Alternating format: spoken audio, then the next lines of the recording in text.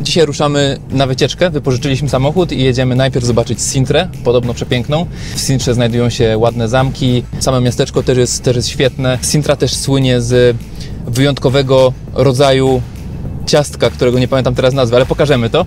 Następnie po Sintrze pojedziemy na punkt, który jest najdalej na zachód wysuniętym punktem Europy, czyli Cabo da Roca. I ostatnim naszym przystankiem dzisiaj będzie, będzie obszar na południe od Lizbony, gdzie zobaczymy między innymi duży pomnik Jezusa.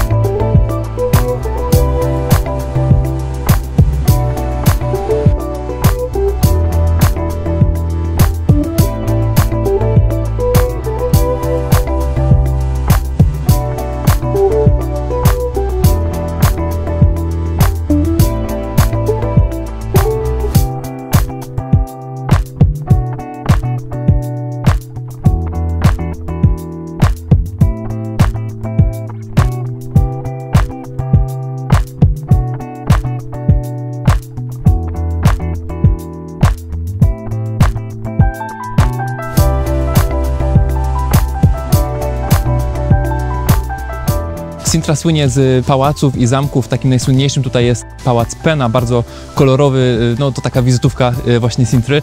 Niestety poruszanie się samochodem tutaj po wzgórzach, bo te pałace i zamki są na wzgórzach, no nie jest najwygodniejsze, parkingi są dość małe, więc y, na przyszłość informacja dla Was, jak będziecie tutaj, to można na dole wypożyczyć w mieście tuk-tuka albo przyjechać tutaj po prostu autobusem, komunikacją miejską. Nam nie udało się zatrzymać właśnie pod tymi pałacami, pod którymi chcieliśmy, poza jednym, poza Monserrate, w którym właśnie teraz jesteśmy. Tutaj są gigantyczne, ogromne, piękne ogrody, więc przejdziemy się najpierw po tych ogrodach, e, a potem zobaczymy sam pałac.